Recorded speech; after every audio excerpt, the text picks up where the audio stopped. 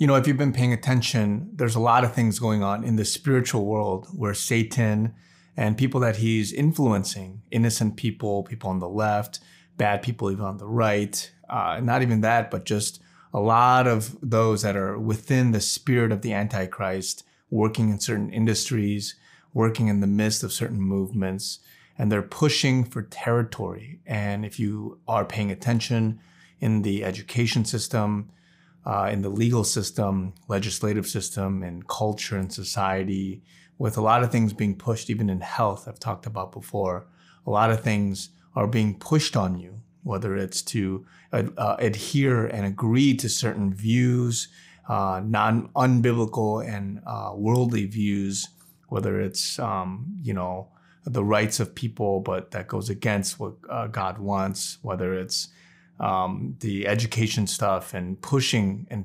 indoctrinating uh, ki- uh, children and kids these days with so many of the LGBTQ stuff, uh, some of the um, uh, the race stuff, and so many other things right now, and they're uh, being pushed on all of us. And right now, because so many people, especially Christians and those that have more conservative voices and more even biblically based values, they're being marginalized and they're being shut down. They're being censored and they're uh, not having a voice because people think with this woke movement, with this liberal agenda, and all these things that it's okay. We'll just let them be. We're just gonna love on them, you know, from us from the sidelines. We're just gonna let these things um, happen. And the problem is that a lot of us are too weak, and we're just letting things go.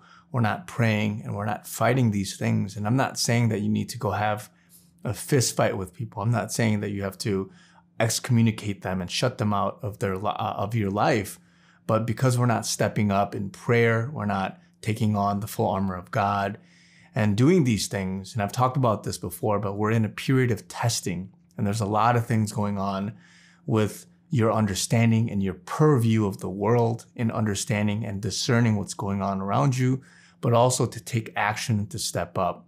And that doesn't mean that everybody has to go out and run for office or be a politician or have a, a YouTube channel or something like that. But you have to be able to be active where you are, to be praying, especially, and to be supporting and fighting and uh, aligning yourself, educating yourself, and seeing what's going on instead of being part of the problem, being part of the dissension, being part of the argument. Because I see so many Christians, I see so many people just taking the other side and just trying to justify it by saying, oh, we're just loving them. We're just allowing this to happen because, you know, we don't know. And so many other excuses. But you have to know that each action, each thing, if you look at it from the perspective of God, each uh, of those things is sin or not sin, right? And there are, you know, of course, gray areas. But for some of these things that are being pushed on the kids, that are being um, manipulated as propaganda and as a message, and even outright false uh, misinformation and untrue things because we're not aware, we're not awake as Christians, we're not uh, discerning of that, we're not asking the Holy Spirit to reveal this to us. There's still a lot of people asleep and in the dark, and it's causing a lot of confusion, of dissension, and chaos. And right now, God is testing us. God is testing us as a society, as a body of Christ, to really see what is truth, right? What is it that's happening that's real? What is it that God would want for us? What is it that we need to be uh, listening to and who we need to be listening to? A lot of us were confused about that. And that's because we don't have a backbone, we don't have a root in Christ, we don't have a desire to wake up. And because a lot of us are compartmentalized, we look at uh, God and we look at society, we look at our Christian life as just about you know our character, just about uh, loving uh, Jesus, just in our you know own room or in our closet, like I, have said before. Uh, we're looking at things just with the safe stuff. A lot of us we look at things and we see it only from what we want to comprehend as being uh, good and and safe to understand. For other stuff that we're not comfortable with, stuff that we don't understand, stuff that we just think is uh, impossible to grasp with our own reasoning and with our own mind, we don't take on and really tackle and ask God for discernment because we're afraid and we're going along with the world. And so that's the problem right now. A lot of us are asleep, and many of us that are awake, we can't go back to sleep. And so that's why a lot of us that are being called, you know, conspiracy theorists, they're being called just radical people, they're being called whatever name, right? And it's not everybody. I'm not talking about this whole group. There's bad people within that as well. But those that are awake, they seem normal, they are normal, but they're just telling you, hey, I think this is what's going on. There's an injustice. There is this agenda being pushed. People are being doct- indoctrinated. There's this education issue going on right now. There's this push to try to deceive you. And because you're not willing to be awake to really discern this, you are not fighting uh, this fight along with so many other people. And, you know, a lot of people call them patriots, but I just call those that are fighting for righteousness and justice those that are on the side of God. And whether they are Christian or not, or whether they are patriot or not, that's something else. But I'm focusing in on what's righteous, what's good, what's, what's truthful, and what is it that God would want as a society, as a country, as a world?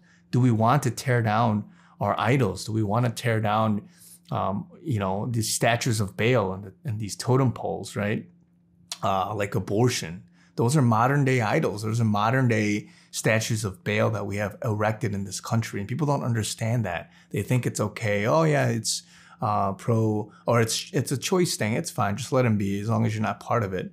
But these are idols. These are, are statues. These are these um, uh, towers that are being erected in all these cities, in all these places across the nation. And there's many more, right? The LGBTQ and just so many other things those things are being erected and we have to tear that down and we don't understand it from the higher level in the big picture and because we want to compartmentalize our christian life and who god is just to the safe stuff to the stuff about suffering and about you know your character and about just um, doing evangelistic ministries and stuff like that the safe stuff we don't see it from the perspective of god in a higher level and so that's why we got to be fighting we got to be praying and a lot of us, we're not even strategizing. The enemy is strategizing right now, and he's using everybody and anything possible to push these things. And if you are not uh, strong in Christ, then you are susceptible to jumping on this bandwagon and just talking about it, right? Oh, no, you need to love them and you gotta, I'm, I'm all for uh, new woke movements and, and these new rights.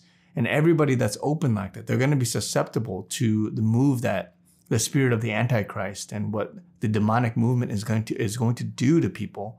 But for those that are Christians, we're so into ourselves, we're so into our own thoughts and our reasoning and our rationale that we're just fighting with each other. We're fighting with others that um, you know they they just want certain standards and they're just pointing fingers and hating on people, but they're not looking to the other side, the left, the demonic, and uh, the stuff that's pushing into our uh, education systems, our legal systems, our legislation, and all these other things. And they're looking and they're picking the wrong battles because they're asleep and they're going with the safe stuff. But really, God wants us to be awake.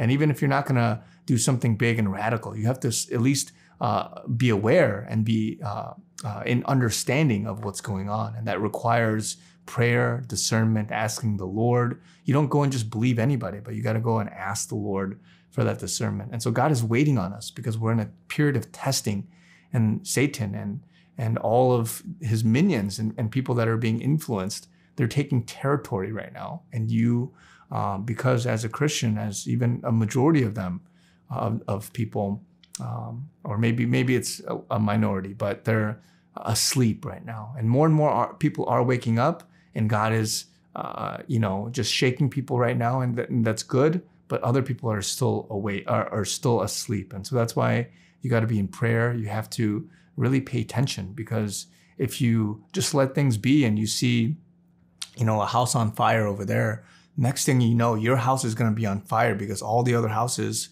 are going to start catching fire and it's going to get to your doorstep. And when it gets to your doorstep, then you're going to panic when it's about your kids, when it's about your life, when it's going to impact you, but you didn't do anything before that. You didn't pray, you didn't uh, educate yourself, you didn't have healthy discussions, you didn't push for these things uh, ahead of time, and instead you waited. And so that's the problem right now. A lot of people are waiting uh, they're unsure. But uh, I, I tell people you got to pray about it and ask. If you're listening even to this video, you're still catching up on, you know, current events and stuff like that. You have to at least ask the Lord for discernment. And so I just want to uh, remind people again, uh, as that's what uh, is on the Lord's heart for for people to wake up, for people to really uh, get a grip on good versus evil, on sin and not sin, and understanding of the times right now. And so more people are going to wake up. A lot of things are going to happen, but we can't be sleeping. We can't just be in expectation of good things to happen and just let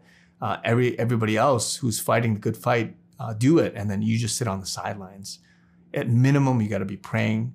But uh, if you have an opportunity within your own sphere or whatever it is that you have, a platform or whatever uh, God has convicted you to, uh, to do, you got to be able to do that. And so that's why a lot of us we're going through a, a tough period of testing and a lot of us are failing, but um, it's not too late. It's not too late to get back up. It's not too late to wake up um, and to, to continue supporting and fighting, right? And so, not everybody, again, is in the same camp. There's people at all different maturities and all different levels of understanding. Some people might be too extreme, some people might be um, a little less. And so, you can't be uh, hesitant to be grouped up into, oh, those radical right or those uh, you know, whatever people, conspiracy people, or those whatever people. It's all about the truth, right? It's all about what God wants. And again, even Jesus, he was uh, um, persecuted. He was called names. He was uh, told as being uh, a false whatever, right? And so even that, but Christ stood for the truth, and we have to stand for the truth. And so,